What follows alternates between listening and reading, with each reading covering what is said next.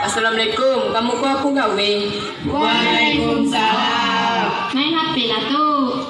Kamu kok main HP beta bos? Wah iyalah tuh di HP ko ada segalanya tuh. Kalau itu ada segala eh, emang kamu tahu sejarah Jambi? Hah? Sejarah Jambi itu. Iyo, cerita Jambi. Kamu nak dengar cerita eh? Wis tuh.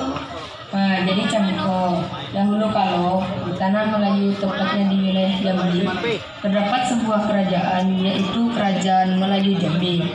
Raja dari kerajaan ini ialah Datuk Paduka Berhalo dan Putri Selaras Pinamas. Mereka mempunyai empat orang anak, salah satunya bernama orang kayu hitam. Orang kayu hitam ialah seorang pendekar dan gagah, perkasa, pemberani, disegani di semua kalangan dan pastinya keren. Pada saat itu kerajaan di Jambi diwajibkan membayar upeti kepada Mataram. Orang kayu hitam tak sependapat dengan Mataram. Maka orang kayu hitam menghadap penduduk kerajaan yang akan menghantar upeti tersebut.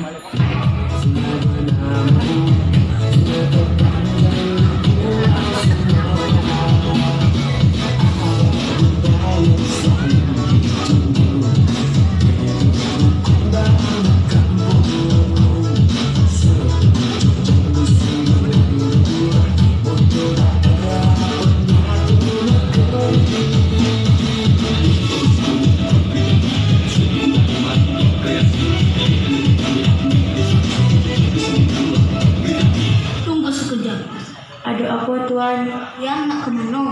Tunggu sekejap tuan. Awak nak nunggu tunggu sebentar. Emangnya ada apa tuan? Pasti kalian nak ngantar putih ke Mataram. Camko, Jambi ialah kerajaan. Mataram juga kerajaan. Jadi, kenapa pula kita harus tunduk pada Mataram? Kita ini kerajaan yang berdaulat. Apabila kita membayar upeti ke Mataram, maka kerajaan kita lah yang bakal rugi. Tapi Camano bila Mataram tak terima tuan, pasti pihak Mataram akan nyerang kerajaan kita kan tuan? Nah itu biar saya yang tanggung. Ini kalian tak payah takut pada Mataram. Ya tuan, saya dah takut lagi pada Mataram tuan. Kami pun tuan, tapi saya tetap takut tuan. Takut kehilangan.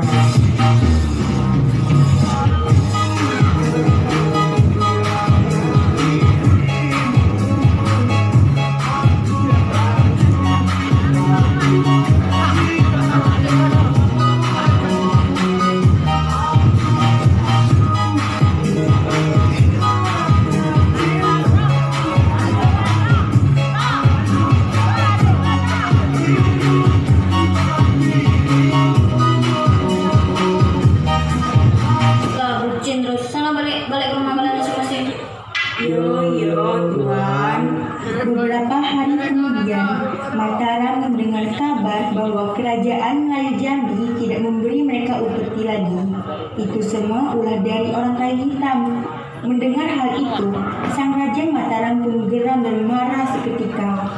Cari dan bunuh orang yang telah menjadi dalam pembangkangan. Tapi orang ini teramat sakti raja. Ia hanya bisa dikalahkan dengan sebuah keris yang ditempa dengan sembilan tempaan yang dikerjakan di sembilan kali Jumat dan diramu di sembilan desa. Orang itu ialah orang kayu hitam raja.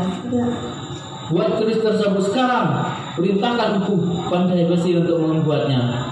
Baik, Raja. Orang kayu hitam mendengar hal tersebut. Lalu ia bersiap pergi ke Mataram dengan membawa peralatan yang ia butuhkan. Ia pun menyamar menjadi seorang pedagang. Permisi tuan. Yo, ada apa? Raja Mataram nggak tahu kalau awak lah yang jadi dalam pembangkangan itu tuan. Biarlah, kaget saya nak ke Mataram untuk ngomongin masalah ini dengan Radino. Tuan nak pergi dewean. Iyalah, mungkin sendiri itu lebih baik. Tulan dulu. happy happy happy adalah menyanyi salah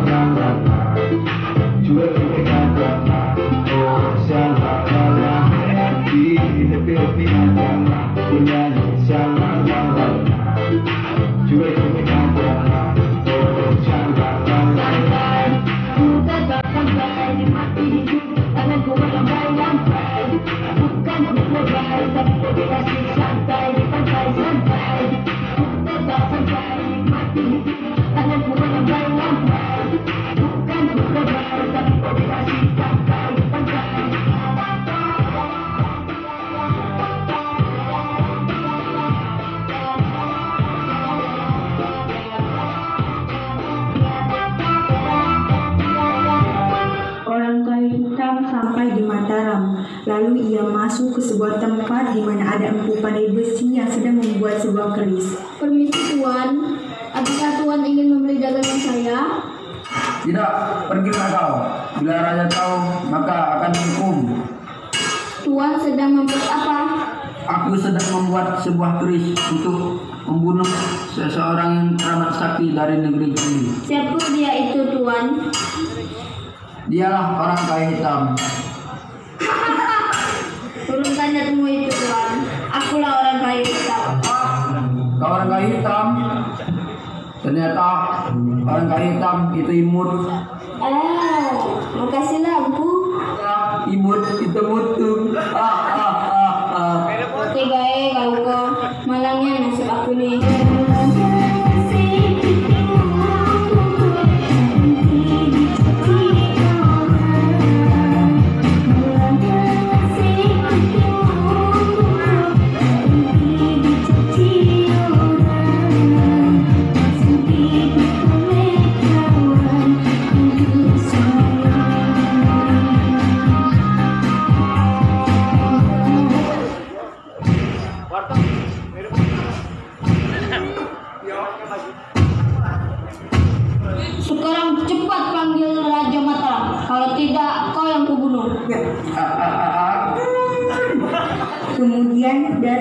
Sang raja Mataram serta anak buahnya.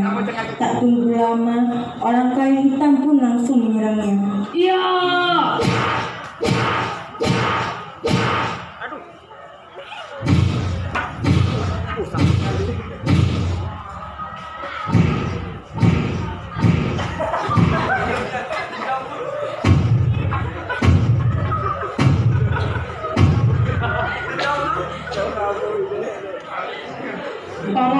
Para anak buah Raja Mataram pun berhasil dikalahkan. Tersisalah sang raja dan terjadi perdebatan yang hebat. Jadi kau yang jadi dalangnya. Apa kau lakukan itu? Emang kau sopo?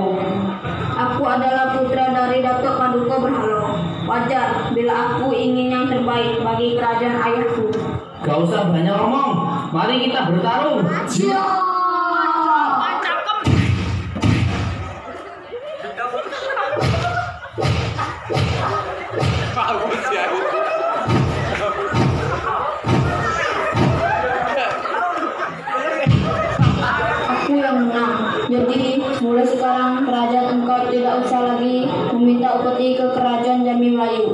karena aku yang menang.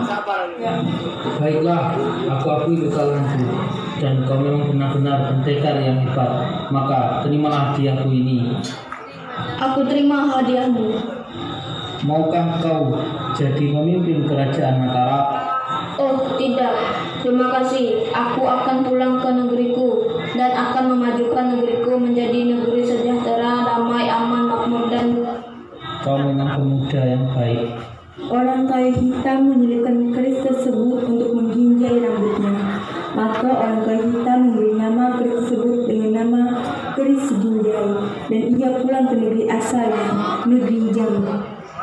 jadi macam tu cerita nak.